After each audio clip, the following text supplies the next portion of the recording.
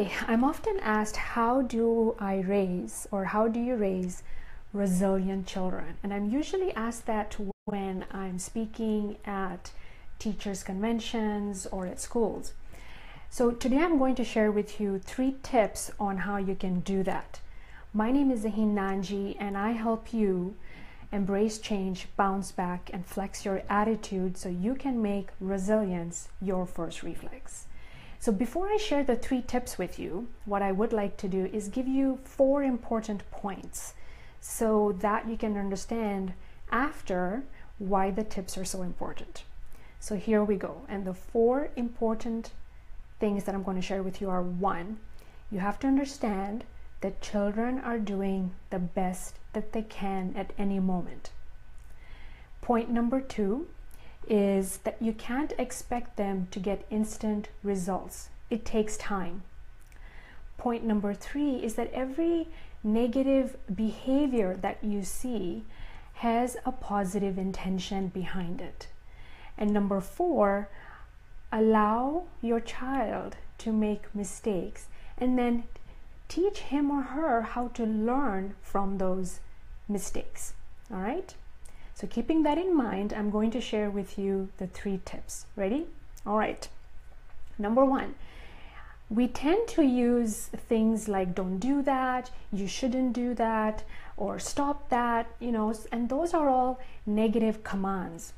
What I want you to do is you can use that, but become aware of that right away, and then follow up with a positive command. For example, don't make a mess, I, and then you follow up with a positive command and say, I want you to be careful with that dish when you set that on the table. When you just say, don't make a mess, they, they only hear the negative, all right? And also, don't make a mess, you know, when you use words like don't, not, or no, eh, the mind strips out the words don't. All they heard was I am going to make a mess, right? So there you have it, number one. Tip number two is that you want to avoid labeling them. Why am I saying that? Because they grow up thinking that that is what they are. We tend to say things like, Max is messy, Susan is clingy, Angie is cranky, right? So they grow up thinking that that's what they are. Instead, what I want you to do is reset that as a behavior. So instead of saying, Susan is so clingy, what you can say is, Susan loves to give hugs and snuggles up so that she feels loved and secure. How does that sound? Put down in the comments if that makes sense to you.